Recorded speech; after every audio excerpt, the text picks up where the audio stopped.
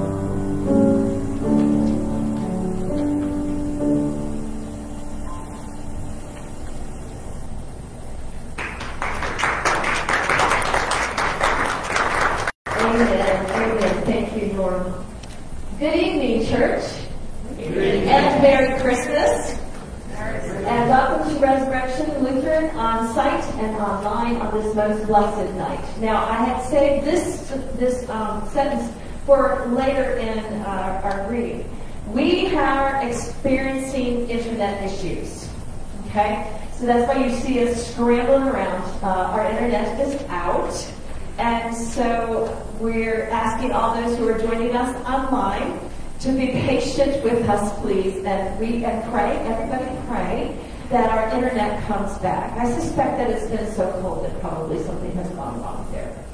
But uh, just wanted to let our folks online know we're doing our best. We are delighted that you have joined us, be it right here on site, on the campus of RLC, from across the street, across town, across the country, and even from around the world. So whether you're on site or online, let us know that you are here through the Facebook chat. And we encourage those here on RLC, you're going to have to use your mobile hotspot for your own, your own um, data uh, to use your handheld device and uh, communicate with those who are joining us on Facebook.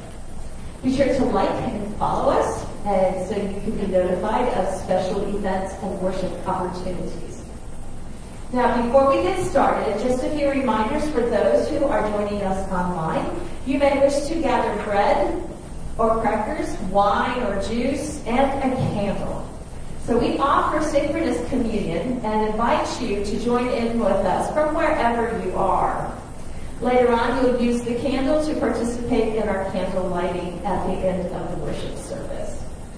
There will be two times in the service in which we will darken our sanctuary. And this will happen during the proclamation at the beginning of the worship service and at the end during the candle lighting. Resurrection is a faith community reflecting the love of Christ through reaching out to each other, loving God through our worship and praise, and caring for all of God's children and creation.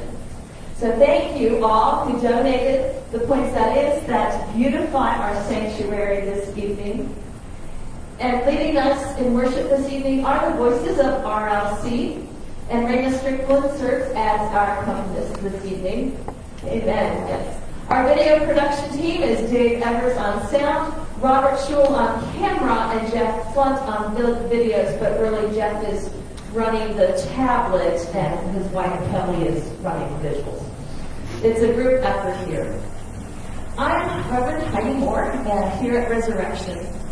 And so I'm going to go through that slide because I already said it. Um, and there you go, we're good.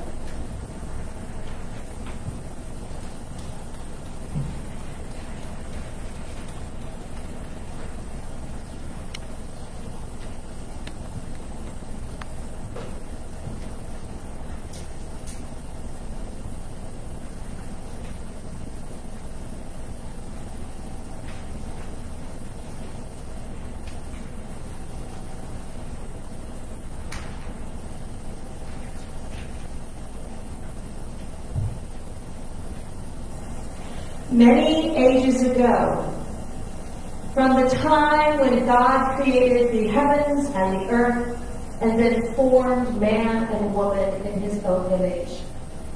Long after the great flood, when God made the rainbow shine forth as a sign of the covenant, 21 centuries from the time the promise was given to Abraham and Sarah, Thirteen centuries after Moses led the people of Israel out of Egypt, and Miriam danced in freedom. Eleven hundred years from the time of Ruth and Judges. One thousand years from the from the anointing of David as king. In fulfillment of the times and years and months and days discerned by the prophets. In the in the 194th Olympiad. The 752nd year from the foundation of the city of Rome. The 42nd year of the reign of Octavian Augustus. While the whole world enjoyed a space of peace, Jesus Christ, eternal God and Son of the eternal Father, desiring to sanctify the world by his most merciful coming, being conceived by the Holy Spirit and nine months of growth in the womb of his mother. Now in our own time, in the activity of our, in the nativity of our Lord Jesus Christ, God made flesh.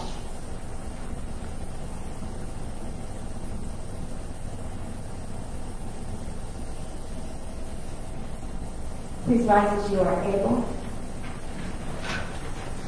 As we sing, Oh come you faithful.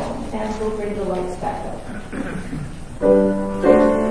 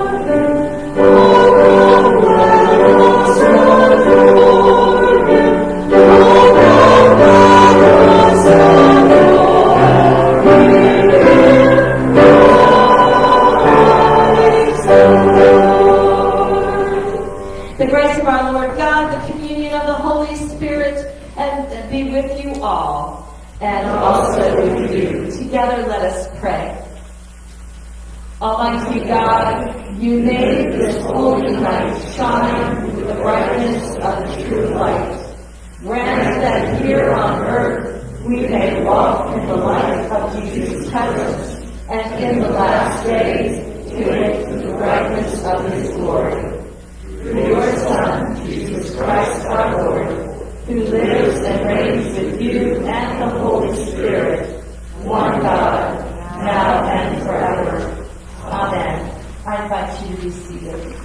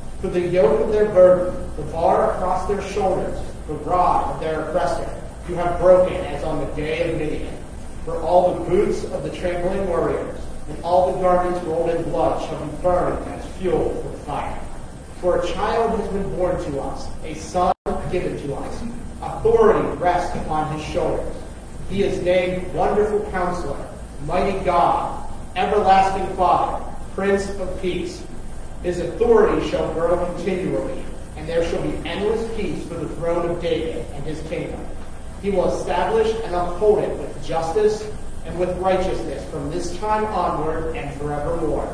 The zeal of the Lord of hosts will do this. The word of the Lord. Thanks be to God. The second reading is from Titus, chapter 2, starting at the 11th verse. For the grace of God has appeared, bringing salvation to all, training us to renounce impiety and worldly passions, and in the present age to live lives that are self-controlled, upright, and godly, while we wait for the blessed hope and the manifestation of the glory of our great God and Savior, Jesus Christ. He who gave himself for us that he might redeem us from all iniquity and purify for himself a people of his own who are zealous for good deeds.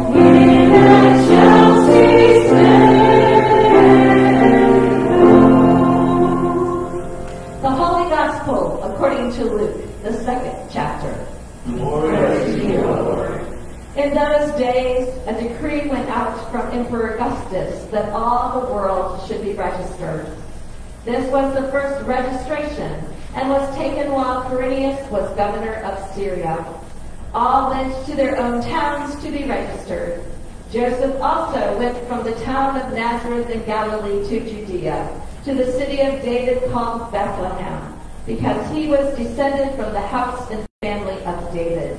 He went to be registered with Mary, to whom he was engaged and who was expecting a child. And while they were there, the time came for her to deliver her child. And she gave birth to her firstborn son, and wrapped him in bands of cloth, and laid him in a manger, because there was no place for them in the inn. In that region there were shepherds living in the fields, keeping watch over their flock by night. And then the angel of the Lord stood before them, and the glory of the Lord shone around them, and they were terrified. But the angel said to them, Do not be afraid, for see, I am bringing you good news of great joy for all the people. To you is born this day in the city of David a Savior, who is the Messiah, the Lord. This will be a sign for you. You will find a child wrapped in bands of cloth and lying in a manger. And suddenly there was with the angel a multitude of the heavenly hosts, praising God and saying, Glory to God in the highest heaven, and on peace, on earth, peace among those whom he favors. When the angels had left them, and gone into heaven. The shepherds said Let us go now to Bethlehem and see this thing that has taken place, which the Lord has made known to us. And so they went with haste and found Mary and Joseph and the child lying in the manger. And when they saw this, they made known what had been told them about this child. And all who heard it were amazed at what the shepherds told them. But Mary treasured all these words and pondered them in her heart. The shepherds returned, glorifying and praising God for all they had heard and seen, as it had been told them. The Gospel of the Lord. Praise, Praise to you, O Christ.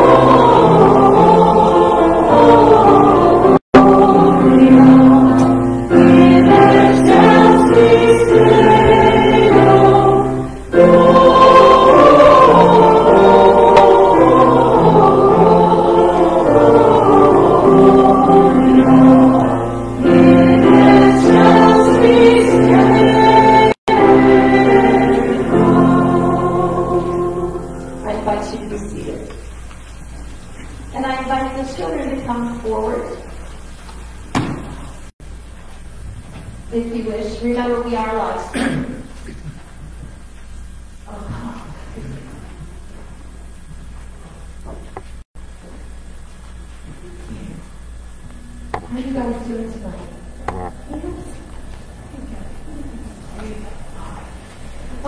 do you know what your parents did when you were born? No? Uh-huh. Okay.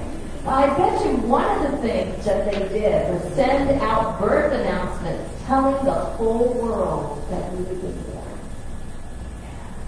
Have you seen that announcement?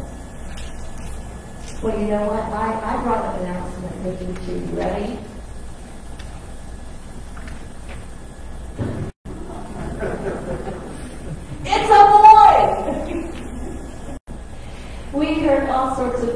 like angels announce the birth of Christ. And, and all through Advent season, we've been following Mary and Joseph as they made their way through the sanctuary here, and they're back there now in the in the um, in the manger, see, in the manger, see there in the stable. And our shepherds have come in from the fields over there uh, on the hills of Bethlehem, which is yeah, there you go. Uh, Mr. Gordon's pointing to that. But you know who's this?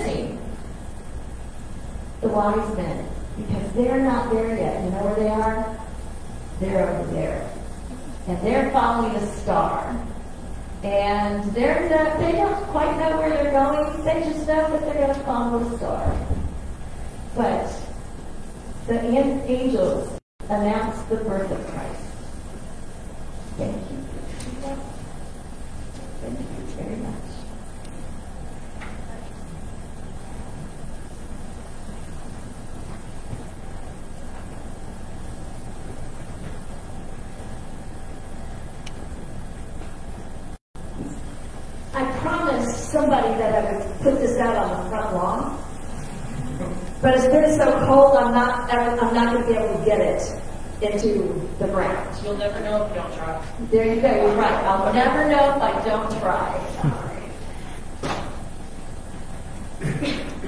and again, we appreciate your patience with, with this evening.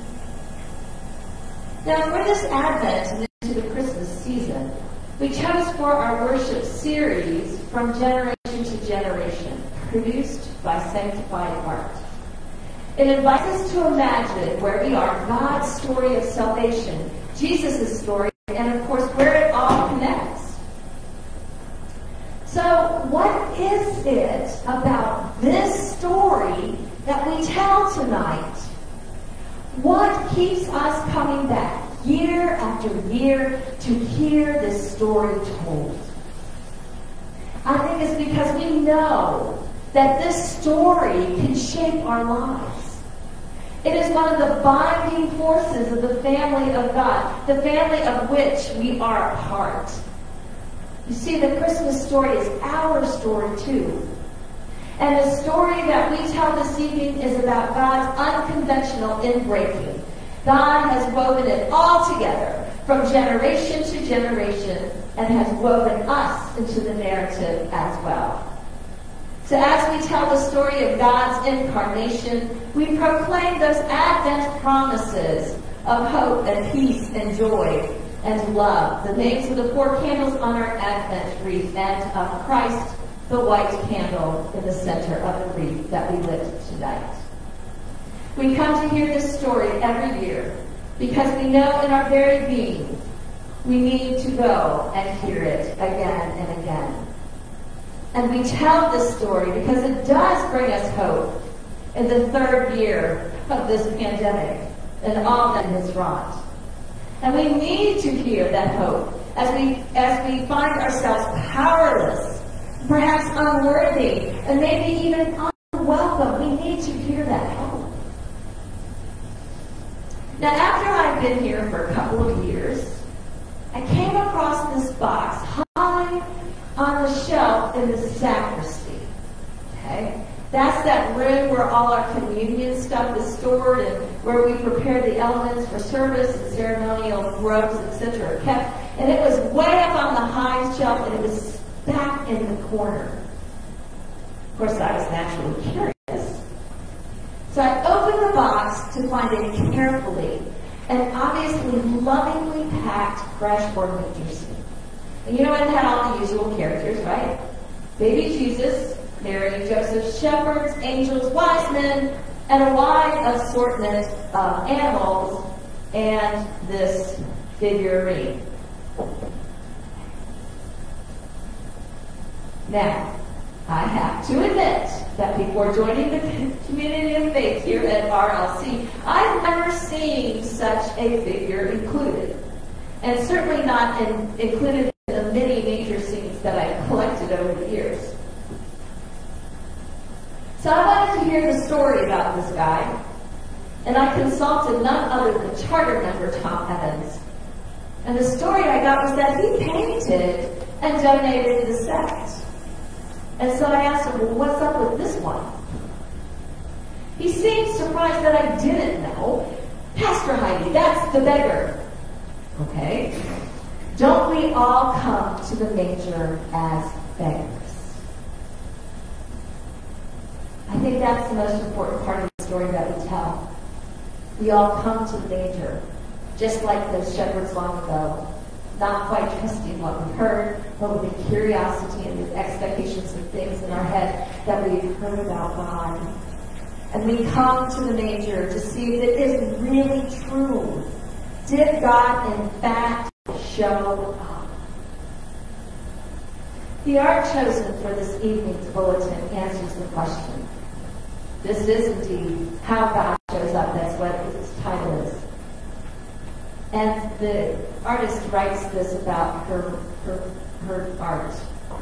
Each year, we tell the story because it is raw with joy and pain and the complexities of being human. For this is how God shows up in a child who cries, in hands that hold, in human flesh and life and in death. And it is in that nature that God chose to rewrite the human story. God fulfilling the promises of old. God slipping on human skin. Mary, who said yes, yes, I'll be Theotokos, I'll be God bearer. To Joseph, who set his hurt and fear aside and said, I'll be there.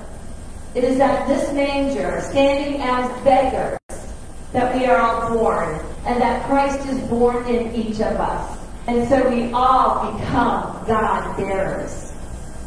And this is how St. John of the Cross interprets this thought through his poem adapted from Love Poems from God, translated by Daniel Ladinsky. If you want, the Virgin will come walking down the road, pregnant with the Holy, and say, I need shelter for the night. Please take me inside your heart My time is so close. Then under the roof of your soul, you will witness the sublime. The sublime intimacy, the divine, the Christ taking birth forever as she grasps your hand for help. For each of us is the midwife of God. Each of us. Yes, there under the dome of your being does creation come into existence externally through your womb, womb, dear pilgrim, the sacred womb of your soul. As God grasps our hands for help, for each of us is his beloved servant, never far. If you want, the Virgin will come walking down the street pregnant with life and sin. So, how do you see yourself in the story of God's incarnation? Are you one of the ones who foretold it, as in Isaiah? Or perhaps are you Mary, to whom the angel said, Do not be afraid? Mary, curious and cautious, but at the same time brave, as she asked, How can this be? How can this be? Upon learning that she has been chosen as Theotokos. Could you be Joseph, to whom the angel said, Do not be afraid? Who makes a life changing choice as he accepts responsibility for a baby growing within Mary, even though he knows it is not his. Perhaps shepherds, to whom the angel said, Do not be afraid. Who said, Let's go check this out. And they saw God show up. Or are you the wise men who followed a star for two years, not knowing where that star would take them, but had hope just the same? Are you part of the menagerie, witness to what no one else saw? Are you this beggar, knowing that you needed to be there, but not knowing quite sure why? But you came anyway. Christ came to us as a child, weak and vulnerable and helpless. Yes, God showed up. And it is in the telling of stories, our stories, that we find meaning and understanding. What is the story that you will tell? Amen.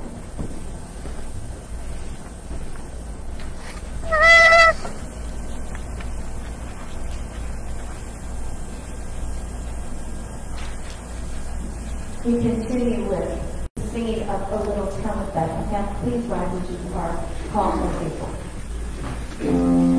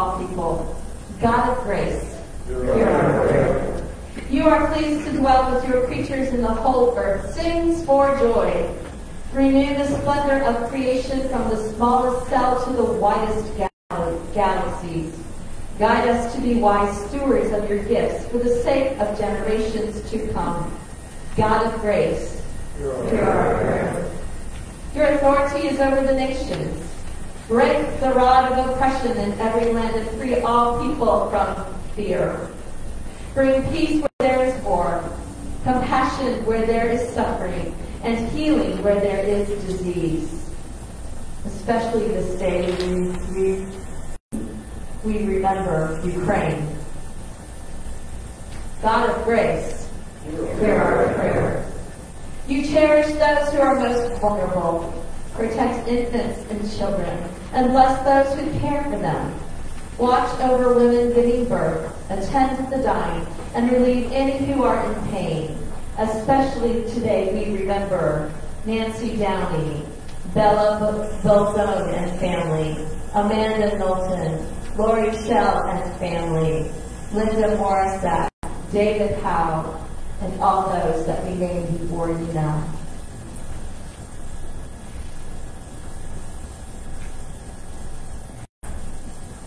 Shelter refugees' families and those who have no home.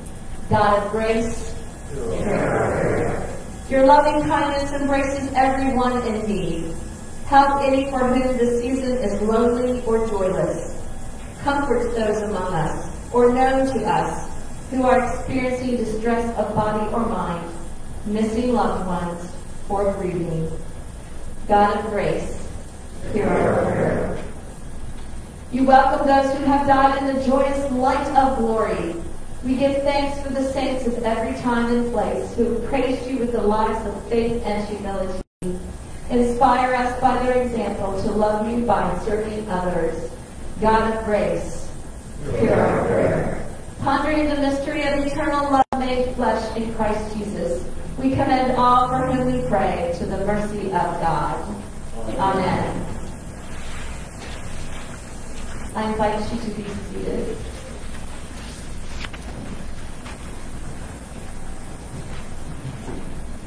As this year is drawing to a close, we thank you from the bottom of our hearts for all of your prayers, for all of your gifts, and most importantly, for all of your presence here at RLC. We normally would at this time pass the plate, collect an offering, but you know it's it's COVID time, and so we have an offering plate there in the north end, as well as a QR code on the back of the bulletin. Again, thank you.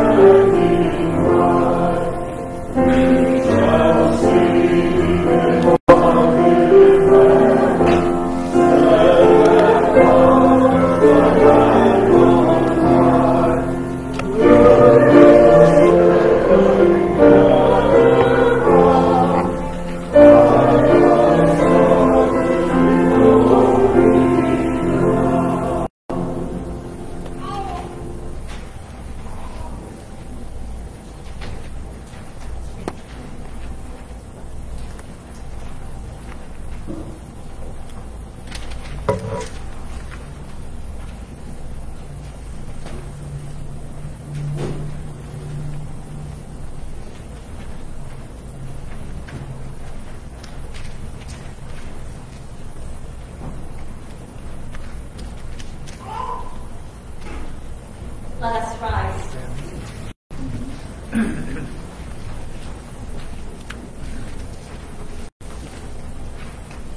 God, our Redeemer, you have fed us at this table with gifts of grace, truth, and life.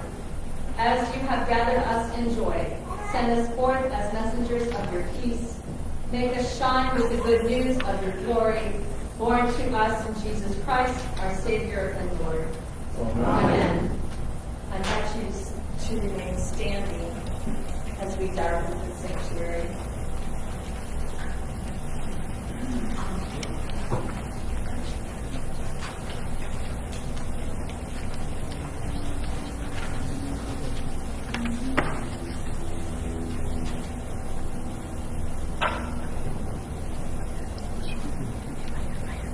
The Gospel of the Incarnation.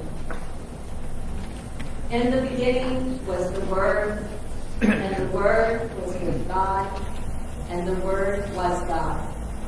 He was in the beginning with God. All things came into being through him, and without him not one thing came into being. What has come into being in him was life, and life was the light of all people.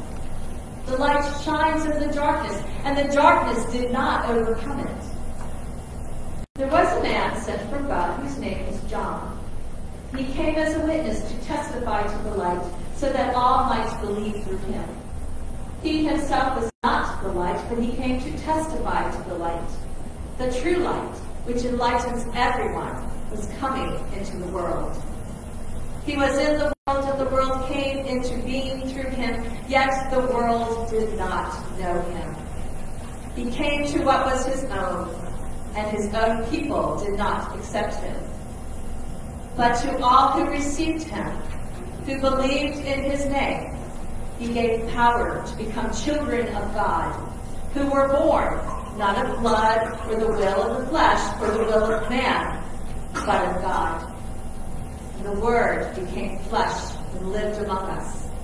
And we have seen his glory, the glory as of a Father's only Son, full of grace and truth.